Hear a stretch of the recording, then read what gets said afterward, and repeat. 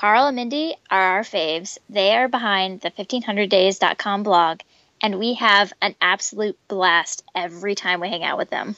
We'll talk in the beginning of the episode about the philosophy of fire and the slight workaholic tendencies that Carl and I share.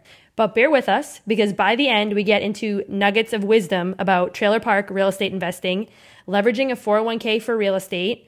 Gwen and I both learned a lot in that conversation, and a few other goodies that you're going to love. Let's go. Welcome to Fire Drill Podcast, where side hustles, savings, and creativity lead to financial independence. With your hosts, Gwen from Fiery Millennials and Jay from Millennial Boss.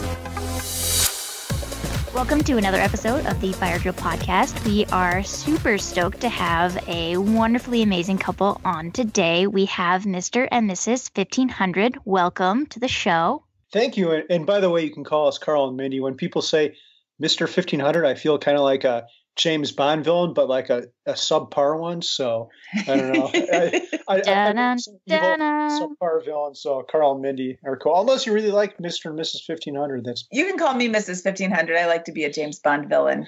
This is getting complicated. Sorry. you know, out of the two of you, I think Mindy would probably be the better James Bond villain, to be honest. Thank you. You're welcome. I don't know if that's a compliment or an insult. It's a compliment. It's definitely a compliment because Mindy's got the whole scary mom thing going on. Yes, I do.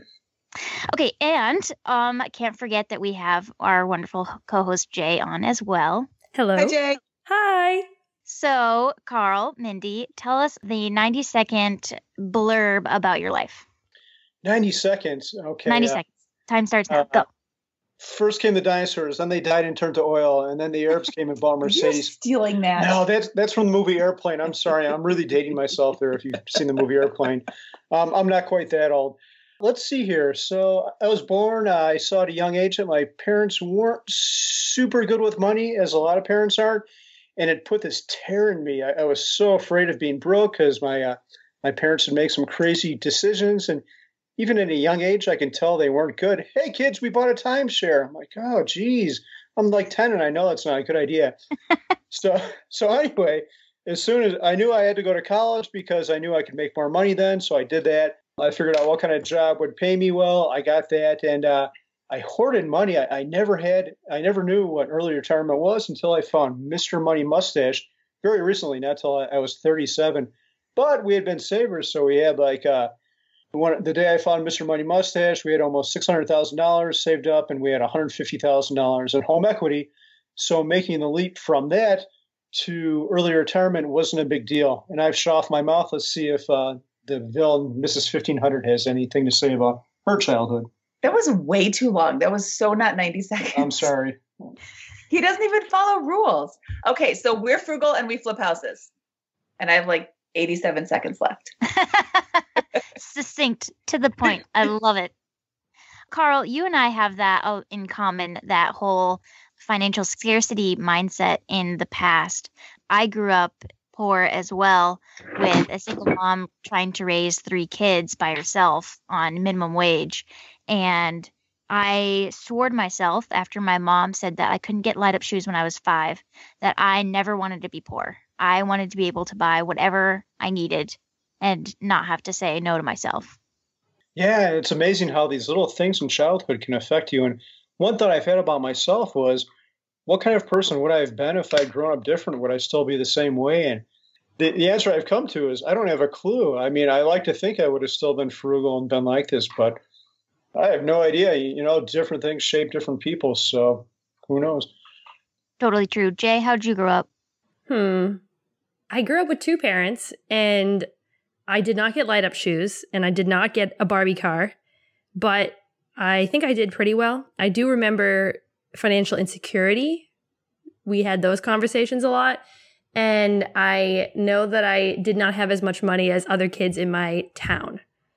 So I think that had a, its effects on me. Um, oh, in high school, when I played field hockey, I was voted, I had the most likely to be on Pimp Your Ride do you remember that Xzibit show? because my car was so bad. Yeah, like people ask my friends, is she going to be offended by this? And my friend was like, no, she'll think it's funny, which I did think it was funny because I like that show. but uh, okay, so that paints a picture of my childhood. So I just gave a bunch of millennial pop culture references, and hopefully you guys can put me somewhere in the economic stratosphere with that. Does anyone have Pimp Your Portfolio um, reserved? I think we should go try to get that URL right now. Pimp Your Portfolio. We totally should. I'm take- down. That would be an excellent show. Awesome. Let's do it.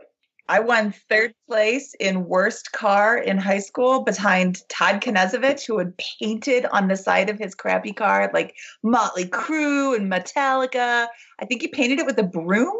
Um, and I don't remember who was in first place, but I was in third place, and I was pretty proud of that. It with me and my '83 vet, my uh, Chevette. Your Chevette. Chevette. I did yeah, 91 Camry. It was fun. I graduated in 2009, sorry. And um, I had a 2002 Dodge Neon that strained to go up any sort of mild incline. It was awful. It was all downhill. Literally. Good times. Good times. Yeah. I, I tried to go downhill as much as possible to save that engine. so I know that growing up poor inspired me to work hard. Carl, I I assume that it had the same impact on you. Yeah, uh, very hard, but it was all to one means was to get money. So I did good in school because I thought good grades would give me a good job. I always worked really hard at work. I volunteered to stay late. I, I remember at work, this is a crazy story. So we had a really good situation. This is later in my career. We were allowed to telecommute, um, and my work didn't care if we went on vacation. We could go to Florida and just work from there. So, and we were paid well. So one day we're all standing around, and there's this big production issue and the boss goes to the DBA. She's like, uh, "Hey, Mike, um, can you stay late?" And Mike's like, "No, I've got to go to bowling league." Like, wow, there's a production problem, and you're like that. I'm like, geez, I was like terrified for him. So then six months later, we had to get rid of some team members, and guess who like who got let go? Was him, and he had his condo in Florida, and he uh, after that he had a terrible commute, and he could no longer work from his condo. He had to go into work every day.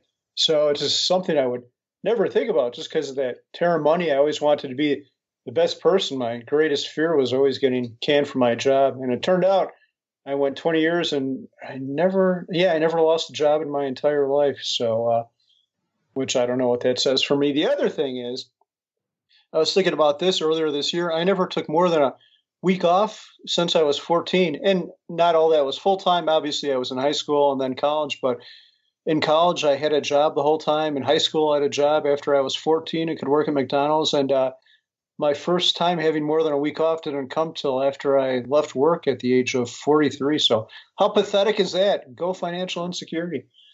Wow. Okay. Yeah, that's just a lot of working. And I get grumpy if I work like 42 hours in a week. Do you think that that focus on work manifested itself in a healthy or unhealthy way? Like unhealthy. that doesn't sound yeah, it doesn't sound very healthy. Unhealthy. I'm going to answer this one for him. He can't stop. And that's great when you have a project that you want to finish up, but it's really, really bad when you are trying to relax and he can't relax. Um, when was the last time you read a book for pleasure? Um, like just just a garbage book you know, not about, he's currently reading Ruby on Rails books. And for a while, that's all he was reading was things that would further his education as opposed to just entertain him. And he finally read somewhere that, you know, your when your mind is going nonstop, uh, you can't sleep well. And he was having trouble sleeping. So he started reading like a Stephen King book or something. And then all of a sudden he was able to to fall asleep because he would let his mind like relax and read this book. But I mean, since he's been retired, what, since last April? What have you read like four books that weren't educational? Yeah, I'm starting to pick it up. Uh, my current one is a Richard Feynman book, but uh, what was your original? Oh, yeah, it didn't manifest itself in a good way because uh, yeah, I, I was thinking I probably worked 80 hours a week for two decades. I would work at least 40 or 50 hours a week in my normal job, sometimes 80 hours a week at that, on rare occasions, rare stretches. But then I, we'd come home and we flipped houses. So uh, we'd put in like nights and weekends. We'd be up till 10 or 11 at night, wake up at 6 and start all over again. It was uh, it was not the right way to do it. I would not recommend this for anyone. I, I know, Jay, you had a comment and uh, when you inter- interviewed Physician on Fire where you were kind of like that too. You were working – towards a big number, but I, I think you've self corrected and realized that wasn't a smart way to go since then. Correct me if I got that wrong. No, you're right. I mean, truthfully, I have 99 problems, and this is definitely one of them. I mean, I am a workaholic. I'm workaholic. And it's funny um, partnering with Gwen on this podcast because we both approach life a little bit differently right now. And a lot differently. A lot differently. like sometimes, um, Gwen, when we sign on at night, she'll be like, Oh, yeah, it was a great afternoon the sunlight was hitting my porch and I was outside reading a book and it was so relaxing. And I am listening to her like, what are you talking about? I've never done that in my life. I don't understand. What do you mean? You weren't listening to a podcast? You weren't reading? You weren't trying to do something with the blog or whatever? So I, I definitely can work on it. But I know this about myself. So I picked a job this year that didn't require as many off hours as my previous job. I mean, it's still a very hard, time intensive job, and I definitely work over 40 hours a week, but I'm not on call at night. So I have time to do things like this. So that that has helped a lot. Um, but I am working, ironically, yeah. Ironically enough, I am the one that's on call. Wow. yes. Aren't you leaving your job? I am. I am leaving part of the reason that I am leaving is because I have to be on call and I have to carry around a cell phone and I have to bring my laptop with me if I'm on call and it's just a pain. Like, you know, when you're picking out some paint in Home Depot and you're in paint mode and then all of a sudden you get a call and you're like, oh yeah, totally will help you break into your laptop over the phone in Home Depot. Like, eh, I'm not about that life. yeah. Good for you. You're better adjusted. Yeah, the thing is, so I want to make two other real quick points. If I could do it over again, I would have relaxed at the very end of my work. Just for the last uh, four or five months, I went part time, and that was great. I highly recommend everyone do that because uh, that gives you time to explore yourself and figure out exactly how you're going to spend those hours when you're not working, or, or maybe another option if that isn't a, an option for you is to take a sabbatical, see what it's going to be like, and that hasn't been an issue at all for me. I wish I didn't have to sleep because I've got so many things I, I, I want to do. I have no problem filling up every minute I have. But the other point I was going to make is uh, I thought as soon as I left, I'm all of a sudden going to be happier and like rainbows are going to come out and unicorns are going to be jumping over my head. And the thing that happened is everything is kind of the exact same. I had a little bit less stress because my job could be stressful, although it wasn't at the end. But I wasn't any happier. No, it was at that time I learned after like uh, 44 years, 43 years of life at that time, 43 years of life that happiness comes mostly comes from the inside. You got to figure that out yourself. It's not influenced as much from external factors as I would have guessed. So I would make a point really quick. Did you hear him say, "Oh, I could easily fill up every minute of every day"? Yeah, I definitely don't get that life cuz I cannot go like that. It's like you guys are the Energizer Bunny or something. You know, you just keep going. There's no off switch, and I like get tired, and my productivity goes down and the quality of my work goes down and I like need to recharge. I don't understand this whole like going all the time thing. Wow, that's a really interesting concept. You need to recharge, huh? what, what, does recharge mean? Do you want to look that up in the dictionary? I drink beer sometimes. When I saw Jay earlier this year, I had a beer with Jay, or maybe two. I wasn't driving. yes, very good. I would yep. also like to point out that the four of us consumed a number of alcoholic beverages at our party at FinCon. Mm, that was a good and interesting night. I don't remember that at all. That's because you might have overindulged just a little bit too much. I don't remember that either. Boy, I was next day. I, I usually go to bed at nine o'clock at night, or even earlier if I can get to it. But that night I wasn't in bed till like four in the morning, so it was a. Didn't we have a podcast the next day too? Yeah, my voice was gone. I didn't get out of bed till two in the two in the afternoon, or the podcast was at three or something like that, and my voice came back like half an hour beforehand. I'm sorry, we're getting off base here. This community definitely has a shared love of craft beer. It's great. It's delicious. So, speaking of vacation time, Carl, earlier when we were talking, you said you one time took off a week of vacation just to remodel your house. And I can totally relate to that because I am thinking about taking time on vacation to renovate my house in Colorado before I sell it. And I also regularly take time off to go to conferences and to kind of further my entrepreneurial stuff. And now that I think about it, that's probably bad. I probably should be using that for pure vacation. Would you recommend that people not do that? if you have to take vacation time to remodel, to change out your toilets or to uh, retile your kitchen, you're probably doing something wrong in life. Maybe you're working too much? It depends on your situation. Yeah. So We did. Uh, we tore out our whole kitchen. We tore out all the tile, tore off all the cabinets, redid gas lines, redid electricity, and redid some of the walls in a week. And it was just crazy. Well, it was almost a week. My goal was to do it in five days, and uh, Was that when we flew my sister out here? yeah, we flew a babysitter out here. Then I just worked like 16 hours a day for five or six days straight. Yeah, we even flew a babysitter. That's how intense we were. She's Uh. my sister and the girl's favorite person on the planet, so it was worth it. I, I don't like projects that drag on. I like to hit them very, very hard and get them behind me. But yeah, back to your original point, Ju- eh, back to your original point, Jay. I think if you're taking two weeks off out of your precious vacation time to do things like that, you're probably living life a little bit too intense. Yeah, it's a tough balance because a lot of us who are trying to reach that number, working as hard as we can to get there, it will speed it up. But at the same time, there's a lifestyle cost to that. And maybe chilling out a little bit and taking 10% longer may be more advantageous in the long run. Yes, do it that way. The thing is, I was thinking about, I know you're into fitness, and I was thinking about something today for most of those those two decades that I worked hard. I hardly exercise. Like the thing that's most important was the first thing to drop off my radar, which is terrible. You should be taking care of your heart and eating right and all that. And none of those things happened because we were just on this death march to this big number, and it was uh, it was ridiculous in retrospect. I'm trying to correct that now. I walk like uh, what I, I usually put in 120,000 steps a week. About um, I'm running 10 or 15 miles a week now, so I'm trying to make up, but you can only make up for so much. Yeah, I'm reading this book, The Lucky Years, and it's written by some famous doctor. And every night I'll read it before I go to bed, and it's freaking me out, honestly, because it's telling you all about like your hormonal changes, and there's such a thing as your biological age. So even though I'm about to be 29, I really could be 38 in my biological age. The concept of it is it's actually, um, at first it was a little bit freaky. Now it's motivating me to do better. But that's a concept that I think a lot of people need to be aware of. The trade offs that you're making on your health to get to FI faster are serious. Yeah, and another another thing is probably along those same lines is a lot of the damage you do to your body is is cumulative. It's not like you could just stop eating garbage when you're 55 and your heart plaque will go away. It's been your arterial plaque will go away. It's been accumulating that whole time. You can't you can only self you can only correct so much at, a later age. You got to be thinking about it the whole time. Yeah, I'm pretty sure that I don't get anywhere near 120,000 steps uh, a week. So that's something that I should definitely work on. You will soon when you don't have a job.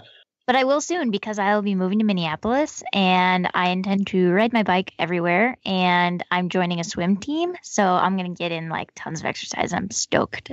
Yeah, I was going to say you might not be riding your bike much when it's uh, in January in Minneapolis and it's 20 below zero. Although, if you do, I have a whole new level of admiration for you. Yeah, I don't want to be a downer, but those winters are pretty brutal. You would be surprised at the number of people I see riding their bikes so far this year. Like it's crazy. There's bicycle. There are bicyclists, uh, people who are riding bikes everywhere, and it has been flipping cold. So, like, major props to them. Yeah, are you going to get one of those bikes with those four inch wide tires? Oh, the fat bikes or the fat tires or whatever they call them. Super fast, Um, the snow yeah. tires. probably not. However, Minneapolis has a very, very robust network of bike lanes. They plow those first, and then they plow the roads. Oh, that's nice. Yeah, That's so all. it's actually like really easy to get around on your bike in the winter. Hopefully, I just don't die in the alley, which doesn't seem to be plowed at all. So it's definitely a little on the icy side, which is interesting. Yeah, at least you'll freeze to death pretty quick. Yeah, there's the bright side to every cloud. So that's a great transition. okay, so we talked a little bit about what you would change in your march to FI, but let's talk about how you got there in the first place. And to tell everyone what we're going to talk about, we're going to talk about solo 401ks, individual stocks, real estate. We're going to hit all these topics in the next section. So let's start it off with the self directed solo 401k. I recently opened up a solo 401k and I did not look into the option of doing a self-directed one. So can you tell us everything about that that we need to know? Yeah, well, a solo 401k is pretty awesome in itself. I know you've discussed the benefits that before, uh, how your company, your corporation can match 25% of your wages, and you could do all kinds of uh, great things with that. But A self directed solo 401k takes it up another step in that if you like things like real estate and other investments, you can diversify into that. So if you have a solo 401k, you might just be investing with Vanguard or Fidelity, your index fund, which is a great strategy, by the way. But if you like to do more obscure things like real estate, and we do things like private loans, uh, syndication deals, we just bought a trailer park, and we do all three of those through the self directed 401k. And it's nice because it's all pre tax those investments are more income generating as opposed to an index fund, which might have a little bit of dividend every year, but these have a lot of income. So it's there in that tax sheltered account. So we're not paying taxes every time we get a rent payment from the trailer park or a, uh, excuse me, or a quarterly payment from our syndication deal. There are some interesting rules around it. For example, if you buy a rental house, you can't maintain it yourself and things like that. I don't want to talk too much about that because I'm not an accountant but you have to be aware of those rules. But if, if you're okay with that, you can invest in a lot of other crazy things that wouldn't be available to you through a solo 401k, and it's not that difficult to set up. And I want to point out that the self directed solo 401k is only available to people who are self employed.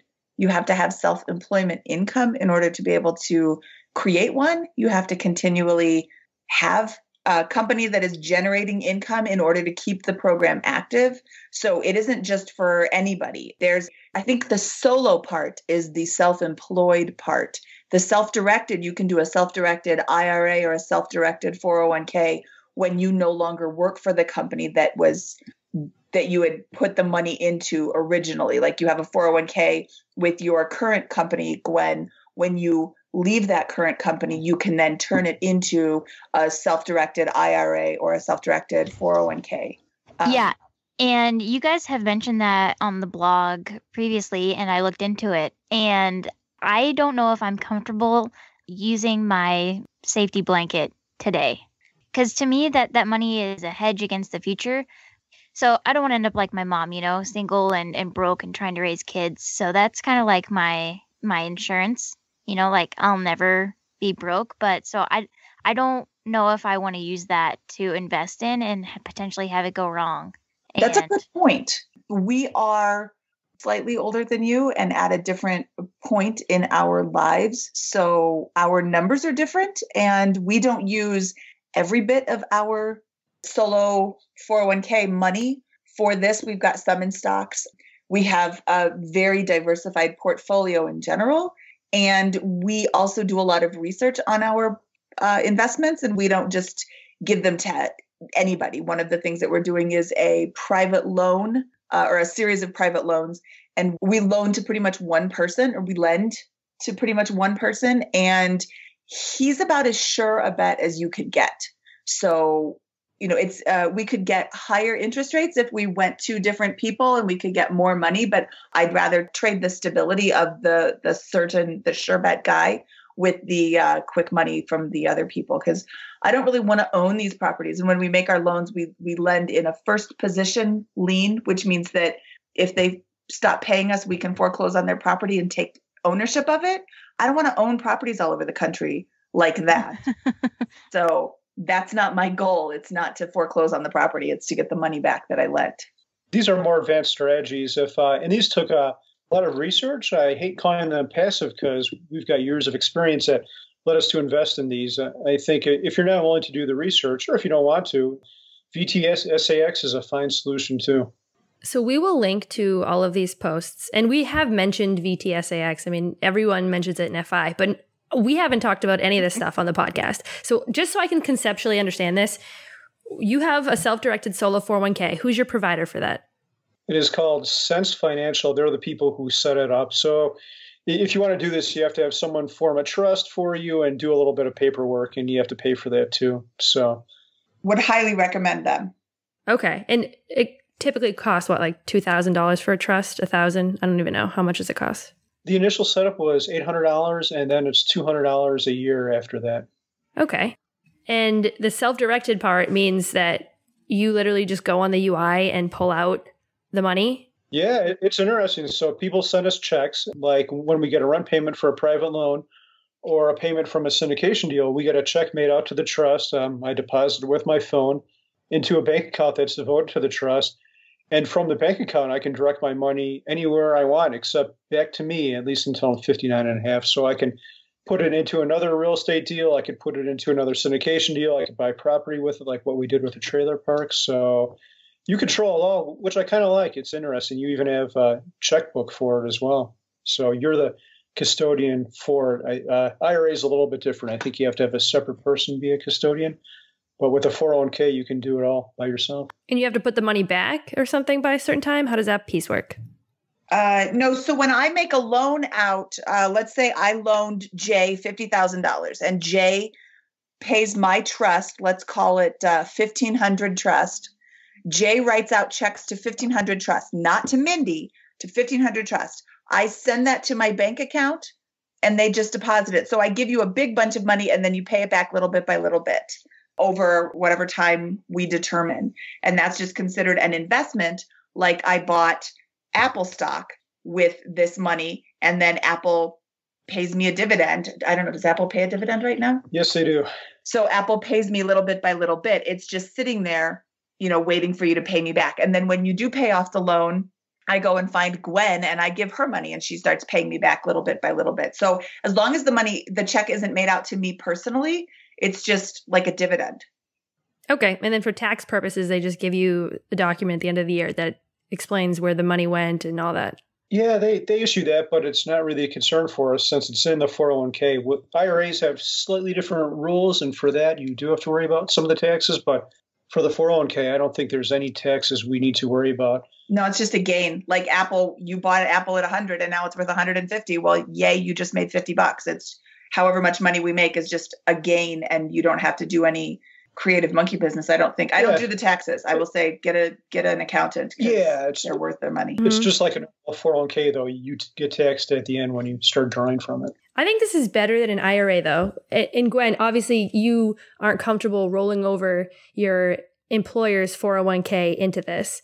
But if you were to open this for some of your side businesses, I mean, I don't know what the requirements are, but as long as you're cash flow positive, you could have a solo 401k. You could get a self directed solo 401k if the cost makes sense, depending on how much money you're making. And in that case, you can put 25% of your income on your business as well as hit that 18.5 employee contribution. Yeah, this is where it gets really fun. For round numbers, let's use let's say you make $100,000 as your salary from this income generating self-employment.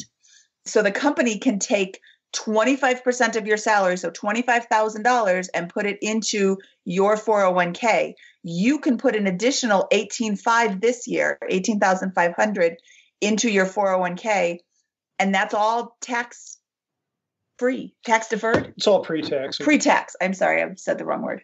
And, and the thing is too, what uh, what people should know is we have a Vanguard account tied to it too. So when there's extra change rolling around in there, that we don't have a better use for at the time, it goes into a Vanguard index fund, just like a normal 401k. So, yeah, nice. In the IRA, you're limited on your contributions. You can only put 5,500. Yep. Yeah, I'm well aware of all the benefits and everything. I just don't know if I want to risk my biggest chunk of net worth right now. Right, rolling it over. Yeah. yeah. Here's my advice to you, Gwen. You are the one who has to be able to sleep with your decision. So if it doesn't make you comfortable, then don't do it right now. You have, how old are you? 30? 27. 27? So you've got some time. And you can just do a normal solo 401k. So there is no additional risk there either. So it's all benefits if you do that, and it's a lot cheaper to do. You can set that up in an hour or two. I, I think Jay, that's what, exactly what you have, right? That's what I did, and I guess it doesn't make sense for me to pay extra per year and for the initial one-time cost for me to do the self-directed right now because my side income is not making enough money. But I guess I would say this for anyone out there who's like, "Oh, well, I don't have a business, so this doesn't apply to me." You could have a business in 2 seconds and take advantage of this. I mean, I my Etsy shop was built over a weekend and a lot of coffee. Um, so I, I, would say it, this could help more people than I think think this could help them.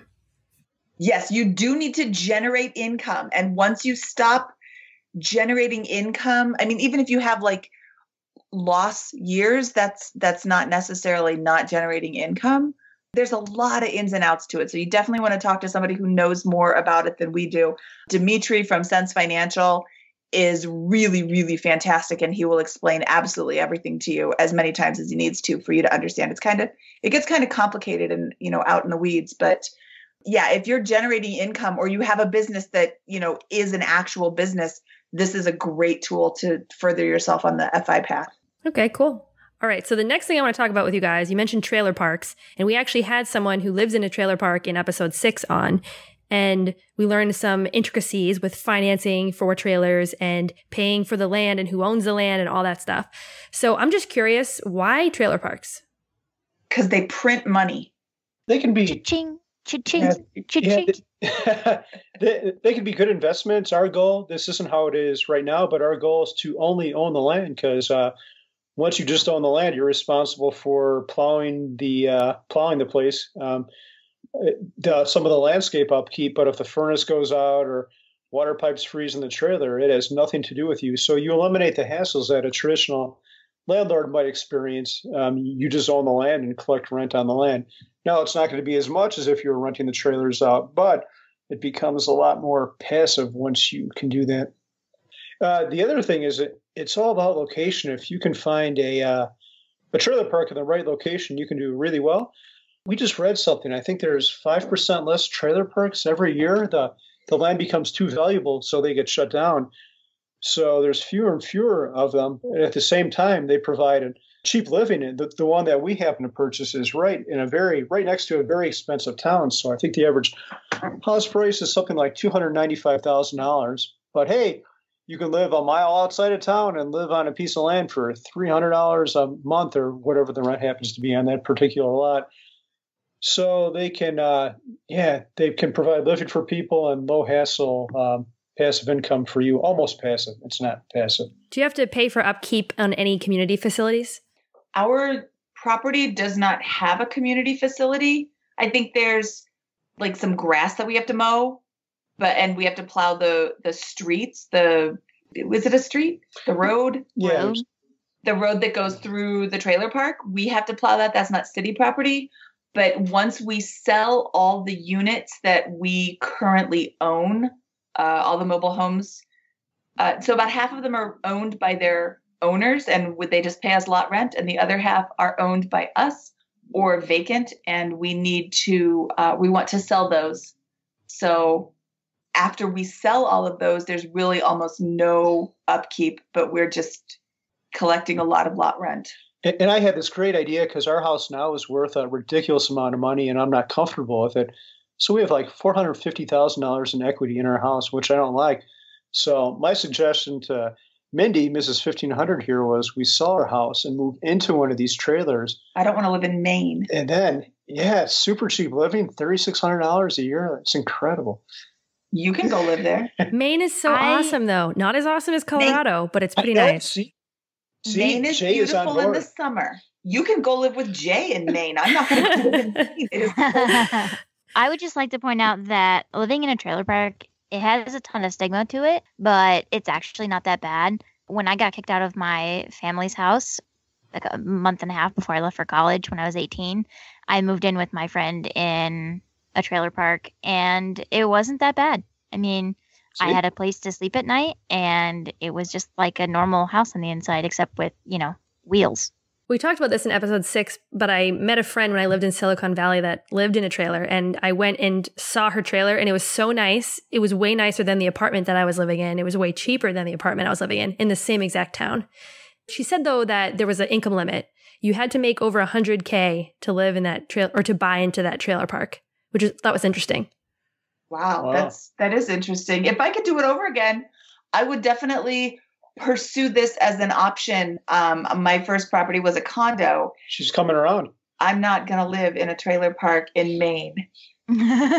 Everyone from Maine is going to be sending you pictures. It's awesome. It's uh, Maine is beautiful, but Maine is like 700 below zero right now, and it lasts like nine months out of the year. I used to live in Wisconsin too. The winters are just forever. And Colorado, it's like the best kept secret. They have all this really great weather that nobody knows about. Today was 60.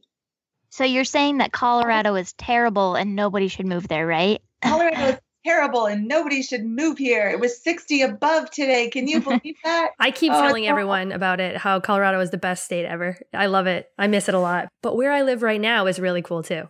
It is. Okay, so how do you even get into a trailer park? I mean, how do you buy into this? You have to buy in cash? Are there weird financing things from your end?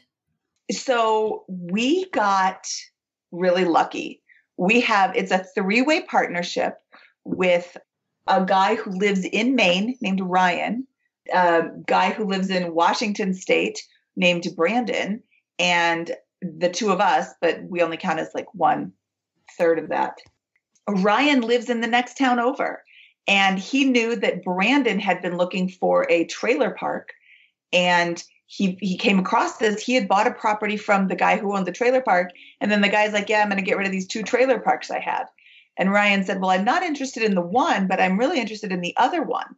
And we went back and forth. I think that it's owner financing, right? The guy owns the so the guy who owned it was, was 70 He was old. 78 and he'd owned it forever. He is holding the note on the loan. So the guy we got it from is holding the note. So we just pay him every month. It's like he's the bank. It was because Ryan found it. Ryan brought it to us. He knew Brandon was looking, and Brandon knew that we had this extra cash lying about. So how does the owner financing thing work? Um, so basically, the man who used to own it is now the bank. When you buy a property from somebody else, the bank lends you the money to buy it. The other person relinquishes their ownership and gives you a deed, and then you're paying it down. And then they they release the lien. The bank releases the lien on the property after you've paid it off. So we have it's all like written with lawyers and everything. He's the bank, and we make him monthly payments. And then he, when we finish paying him off in 20 years, he will release the lien and we own it free and clear. I looked into seller financing for a property that I would look to buy this fall, and what he basically offered me was a balloon loan. But you guys, it sounds like you guys have an actual 20 year note, not a balloon loan that's amortized to 20 years, right? It is a sweet deal. Yeah, we have a 20 year mortgage on the property, and the first year is interest only. So we can kind of, there's some properties, some units that aren't quite up to par. So we need to spend some money to get them fixed up. But yeah, it's a 20 year mortgage that we will pay off in hopefully 20 years. That is definitely a sweetheart deal. It, it really was a sweetheart deal. Can you share numbers? And if you're not comfortable with sharing your numbers, can you give us some type of a ballpark? Because I have no idea how much it even costs to purchase a trailer park. So the trailer park has 46 pads or lots. So you could technically fit 46 trailer homes in there. I think there are four empty lots and 12 that are not rented out because they're in a state of disrepair. What do we pay? 1.1, Yeah, 1.05? Like, yeah, the original price is 1.1, but then it got reduced by I think about $75,000 because some issues were found with some of the trailers before we closed on it. One of the key things that I liked about it was we had the land appraised. So I think the final purchase price was like one million twenty-six thousand, but we had the land appraised by an independent appraiser before we ever bought it, and they said the land was worth a million dollars. So that was comforting to know that the trailers aren't worth that much. And with this particular deal, there was a lot of deferred maintenance on it. In other words, it was in crap condition. So we bought that going into it, but that's also kind of nice because we could see the potential in it. And it might be six months to a year before we see the first check from it. But once it's all fixed up and once we've managed it to how it should be managed, it should do really well for us. And what what are you expecting in terms of return? We think uh, once after a year, once it's all stabilized, we'll make about 15% a year back on our money. So what's that? About five years to get our, our original down payment back, and then it's all profit after that. And then if we still have it in 20 years, obviously that'll go up a lot more because uh, the thing will be paid off at that time. Right. Well done. So both Gwen and I only own properties with ourselves. I mean, technically, I own my house with my husband, but I've never gone in on a property with friends or uh, fellow investors before. What is your relationship while you're doing this? Like, do you divide it evenly? How do you determine who does more work and how that plays into it? How does that work? Uh, this one is pretty location based as far as who do, does all the work. There are three partners. Ryan lives in Maine, and the rest of us don't. So Ryan does all the work. But we structured it in a way where he is compensated for the work that he does. So, like after expenses, all the profit is divvied up based on the amount of money we each put into it. We didn't all put in 33%, so it's just however much we put in is is however much we get back after the expenses.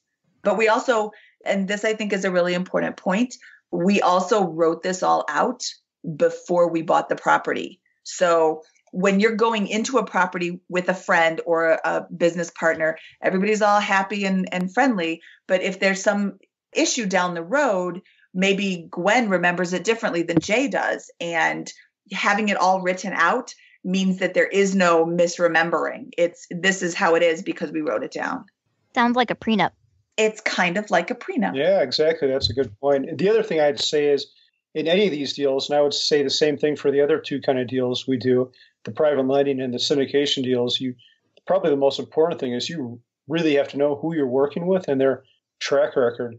What I always tell people is if one of these deals goes south and the whole thing explodes and we lose all our money, I like to say that I wouldn't be mad at the person because I know I trust them enough that I know that they've done all, they could and, and something went wrong that was out of their control. Maybe there was some ec- economic catastrophe or whatever, but that's how much I trust the people. There's probably a, there's very, very, very, very few people in the world that I would hand over a large sum of money to, but the ones I would, that's exactly my mindset. If they lose it all, I'm not going to be mad at them because I know they did all they could to salvage the deal. So is your role, your role is more as investors. So you don't, not that you don't care, but in filling some of the vacant units and the maintenance and stuff, that's on Ryan to do all that work.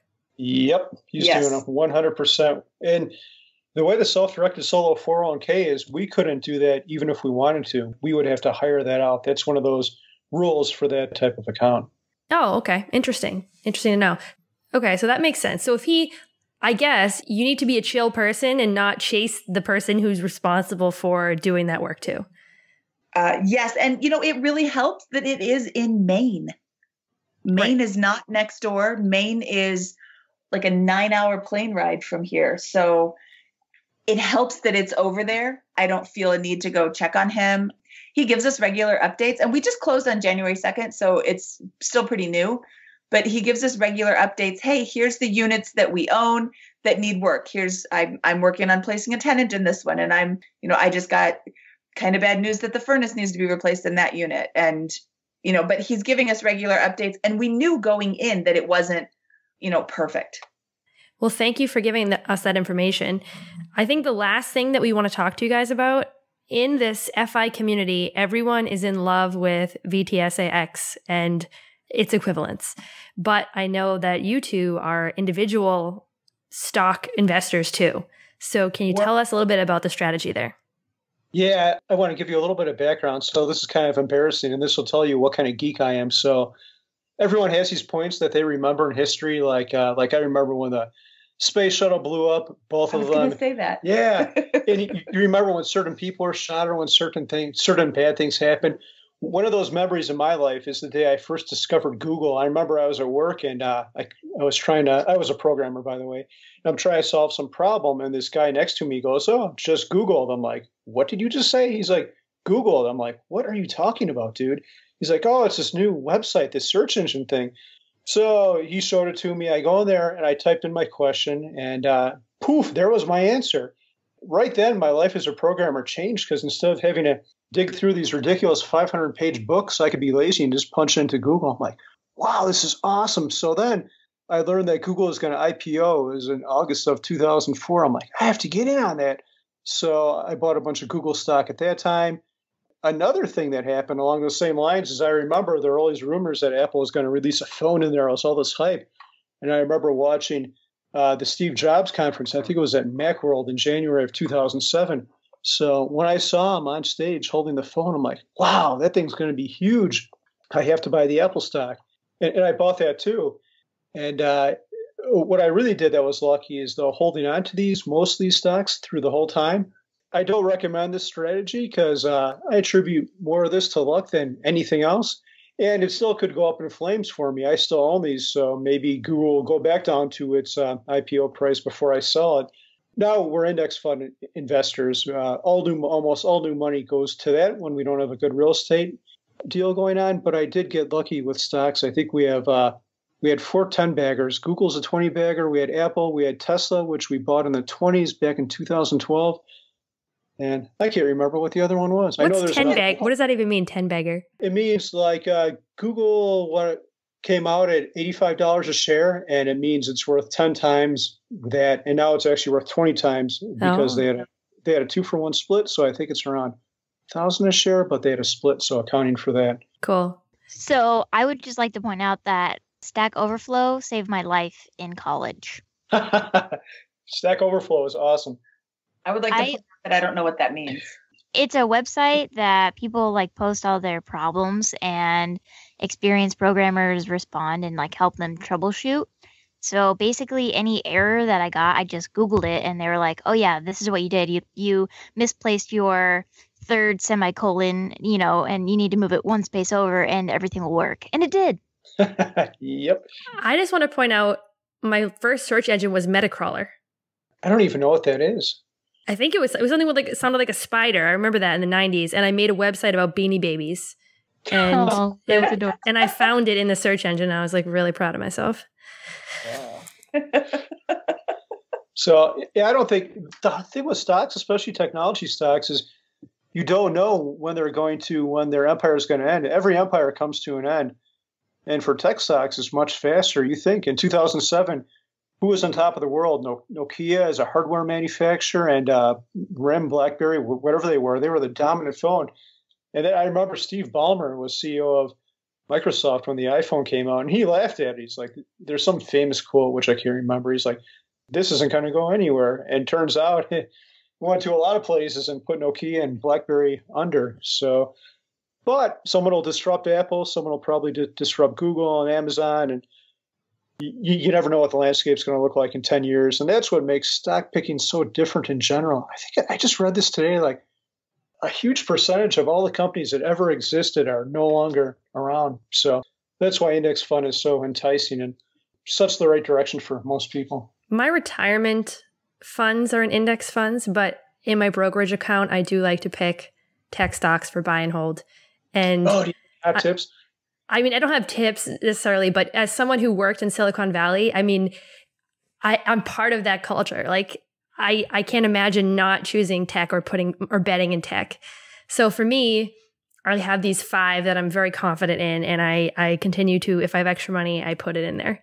Now, we are not financial advisors. Anyone listening should totally not do this at all. But for me, that's my approach. And I just see the innovation, the way that these companies run. And as someone who's worked at some of these big companies, like I, I have my faith in the people that work there too. I mean, there's a huge overlap with the financial independence community, but there's a lot of people who they're willing to run into walls every day for these companies.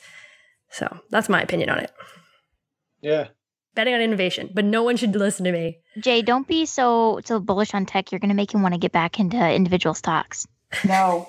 you know, I still like some of them. I mean, uh, uh, it's very interesting to see where the world is going. Like autonomous car software, that's the biggest software problem there is now. The company that gets that right is going to make a whole lot of money from it. And uh, yeah, I think I know who's in the lead, but I won't say it because I don't want to give anyone wrong ideas. Yes, we are definitely um, okay. We're going down a bad path for fire, but you know it's good to present all different points of view in this in this world. Yeah, all our money goes to index funds. Um, uh, Real estate too. Yeah, yeah, real estate. But when it goes from the markets now, it goes back into index funds. So Yeah, we're not buying new individual stocks. We're actually looking to get rid of some of them. See, the problem so with an individual stock, when it goes up, all of a sudden your, you know, $10,000 investment is a third of your entire portfolio. And you want to dance with the one who brought you, but you don't want to have them leave you at the dance. So it's difficult. like when do you cut and run? I went to a Mr. Money Mustache meetup this past weekend, and one of the guys there was telling, he was giving advice to everyone. He's someone who did achieve FI, and he said that the make or break moments in your financial journey are when you're transferring large amounts of assets in moving asset classes. And he was like, be very careful. So uh, technically, you guys, if you choose to sell all of the individual stocks you have and move it into something else, that could be considerably impacting your your net worth depending on how the, that moves. It's kind of scary. you're scaring me now. I'm, I'm sorry. I'm sorry. I'm sorry. but it was interesting. It was interesting. I mean, his point was, I think, a little bit more like dollar cost average. Don't just like move stuff quickly like that. But you know. Yeah, that's actually what we're doing. We're trying to avoid capital gains, and if you're not over like uh, I think it's seventy-two thousand dollars in taxable income, you can solve to that in your capital gains and not pay capital gains taxes. I realize that made absolutely no sense, but there's a way to sell stocks and not pay capital gains if your income is lower, which it is now that I am no longer working. So that's exactly what we're doing. We're selling things off, but it'll still probably take us at least a decade to move it all. Is that the word so, um, tax gain harvesting or something? Is that it? That's it. That's yeah, it. That is it. Bingo. Okay, we will link to something in the show notes if you haven't heard of it, so you can dig into that further. It's great. I, did, I didn't know about it actually till like two weeks ago, but it's uh, it's wonderful, especially to do early on in retirement before you have to take 401k distributions, but after you're done working, so your taxable income is lower. Cool. All right, so we have gotten so much information from you two. We had some fun at the beginning, and now we have the hard facts at the end. We are going to close it out with two more questions. But before that, I want to give you the floor. Is there anything that you haven't mentioned that you think an audience pursuing financial independence needs to know? I would say the main thing that bothers me about the financial independence movement, or maybe the early retirement movement, is um, some people have this drive. I just saw it on a Facebook group the other day, a Choose FI Facebook group. Some people have this huge drive to quit work, and that's not really what it should be about. It should be about to give you options. Once you have all the money, you might decide that you don't want to leave work. Um, Mindy here took a job after we became financially independent because she likes the work so much, and I like it too because she gets us health care. So the uh, you never know. Work, meaningful work, is the meaning of a meaningful life. I said meaning way too many times in that sentence, but yeah, that um, was terrible. Yeah, it, that was a terrible sentence. Um, work means something different to everyone. You might not be working because of money anymore, but you never know. The work you do after you become financially independent and leave your job might make money anyway. But my now I'm getting off base your main goal shouldn't be to quit work. It should be to give you options to do whatever you feel like doing once you get to that point.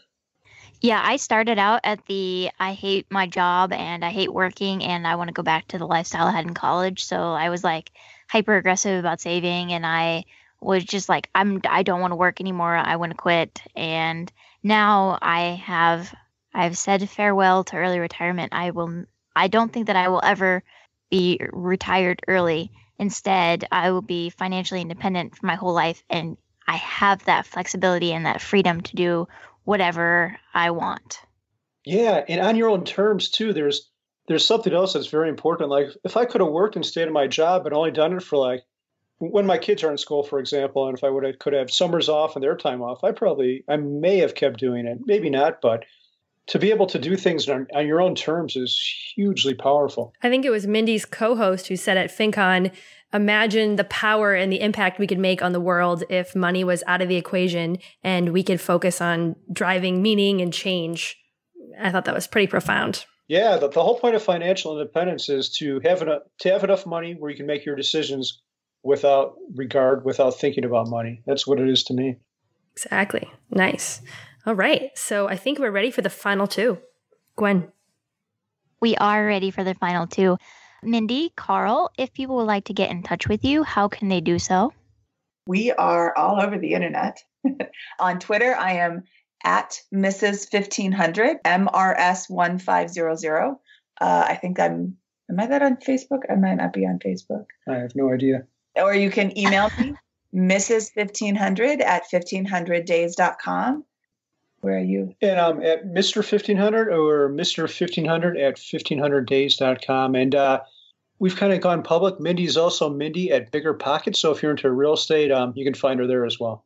Excellent. All right. Jay, you want to head up the last question? Sure. Okay. And we're going to ask both of you this individually. So, first, let's start with Mindy. If you could live out your wildest dream, your secret, kind of embarrassing, crazy, whatever, wildest dream, what would it be?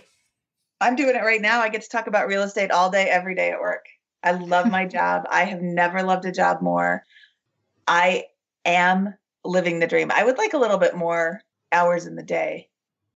Uh, I'll keep it as PG as possible, maybe PG 13. I, I would buy an island in a tropical place, um, where I could wear the most minimal amount of clothes every day, but still with high speed internet connection so I could still write code because I enjoy doing that. That's part of what I do now. I just don't get paid for it. So yeah, I'd wear the minimal amount of clothes, learn how to surf, and uh, I would, would wear some clothes. I don't want to get sunburned in the wrong places. Um, so I'd surf and then I'd write code like at night or when the waves weren't coming in or whatever. I think that's what I would do. So a, with my lovely wife and children, of course. So a nudist island for programming and surfing. Not nudist, not totally nude. I don't want to see almost I, nudist. Yeah, almost. I think it would be classified as clothing optional. Well, see if you rub sub- sunscreen on the wrong places, oh, you're going to get in trouble if there's other people there. FICO, financial independence, clothing optional. Nice. Shorts optional. Shorts optional. Shorts All right. Well, let's wrap this up before we put too many thoughts into people's imaginations out there. Thank you both for coming on. We had a lot of fun and we learned a lot. And thanks for your tips. We have not talked about any of these topics in the podcast yet, so much appreciated. Oh, well, thank you for having us on. I had a good time. Yeah, if you want to throw this whole thing in the trash, I don't blame you too. Oh, but stop. Th- th- thank you for having us. Hey everyone! Today's sponsor is Olivia from the Birds of a Fire blog. She writes about financial independence and hacking luxuries for way less. She's a 25 year old woman who lives in New York City, is a spreadsheet and programming nerd, and saves a whopping 70% of her income. She believes everyone should be able to retire early, so she created a free 20,000 plus word financial independence two week email course that comes with a super in depth spreadsheet so you can save more, invest better, and retire sooner. You can find her and the course at birdsofafire.com slash fire drill. Thanks for listening to today's episode. Go to our website, firedrillpodcast.com, to continue the discussion and get the link to our private Facebook group. If you like us, leave us a review on iTunes. If you're like me, you have no idea how to do that. So, in the podcast app or in iTunes, search for Fire Drill Podcast, find it, click the reviews tab, and write something to make my mother proud of me. We read every single review and want to say thank you from the bottom of our hearts for making this podcast possible.